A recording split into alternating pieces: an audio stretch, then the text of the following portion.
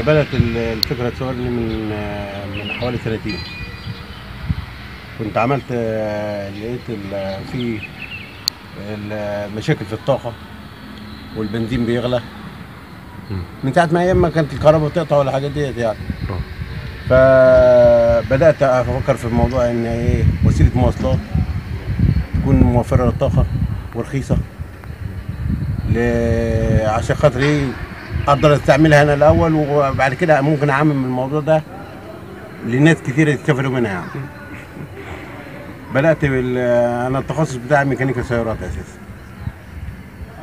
وشغال في في الإلكترونيات يعني الاتنين مع بعضهم تمام.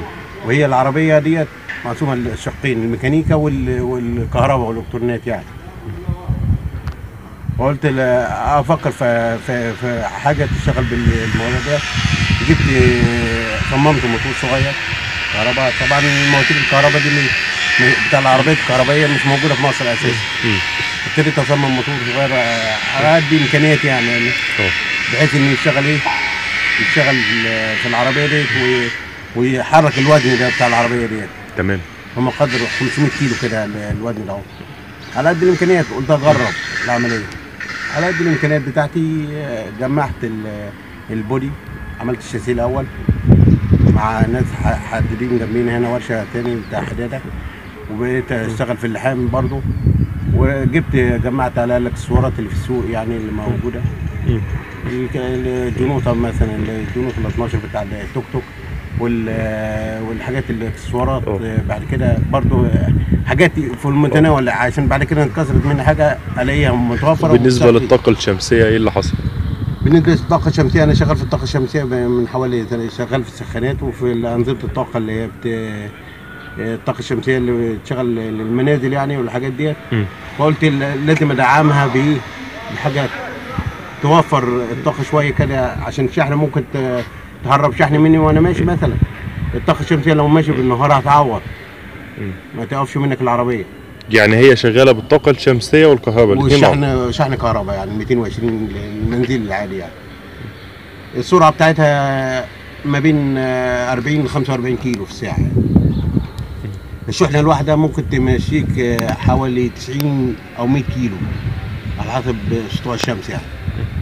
دي الشحنة بتاعتها في اليوم يعني. الست ساعات اللي بتشحنهم دول هم كافيين إن يمشوك المسافة اللي بقول عليها دي.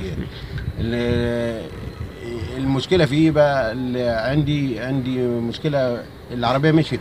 وما فيش تم... ما فيش أي مشاكل. ما فيهاش أي مشكلات. ما فيهاش أي مشاكل. أنا بجربها و- وممكن نصورها. حضرتك في, في الجبل وهي ماشية في فوق ال- التراب والرملة لما تغرس في ما فيش أي مشاكل فيها. إيه إيه المشاكل اللي بتواجهك بعد تصنيعك للعربية؟ المشاكل اللي تواجهني دلوقتي إحنا في ناس عاوزين المستثمرين عاوزين يدخلوا في المجال التصنيع معايا كشراكة يعني.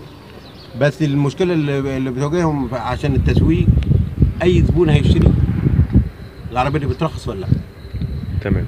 هترخص ولا لأ؟ فموضوع ال- الترخيص ده اللي مسبب لي المشكلة. العربيات الكهرباء دي ما أعرفش نظام الترخيص إيه. إحنا عاوزين نرخص. طب انت سألت. سألت المسؤولين وقالوا لك ما ينفعش تترخص ولا لا لا كانت نزلت عربيات آه، السنة اللي فاتت. آه نزل عربيات كهرباء فما وافقوش على ترخيصها في في الداهلية. مم. العربيه اللي شبه ال- الاربع عجلات وفي. ثلاث عجلات منها يعني أنت تناشد المسؤولين إن هو يفتحوا باب ترخيص الترخيص للعربيات. يسمحوا لنا بمصنع نعمل مصنع صغير لتجميع العربيات دي. وهيبقى ال- الم- المنتج المصري فيها أكتر من 65% يعني ال- الحاجات التصنيع الحاجات الإكسسوارات المصري أكتر من 65% إحنا مش هنستورد من بره الموتور. ممكن نصنع الموتور هنا عندنا. لو في اتاحت لي الإمكانيات هنا أنا ممكن أصنع الموتور هنا. زي ما عملت الموتور ده يدوي لو في معدات ولا حاجة هصنع الموتور ده عندي قيمه العربية 100% م- صناعة مصرية يعني.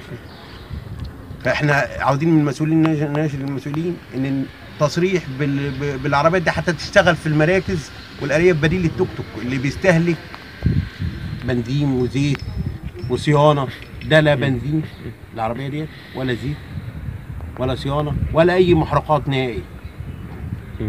كفاية إن مو- موفر الطاقة وغير كده الاستهلاك الطاقة بتاع الشحنة آه، الواحدة 2 كيلو واط في اليوم. بس. الشحنة نوع 2 كيلو واط في اليوم على حسب التعريف هذا ممكن حوالي 2 جنيه في اليوم. لو اشتغلت اشتغلت بحاجه زي كده واتنفذت ونزلت السوق بلاد العالم كلها مشغلاها الصين وال- والهند واليابان كل العربيات الكهربائية دي بس على حسب إيه مصانع عملاقه